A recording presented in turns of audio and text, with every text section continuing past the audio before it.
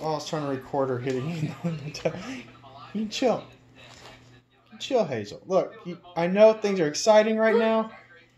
Just don't worry about it. I know Mama's coming home. He's trying to comfort me.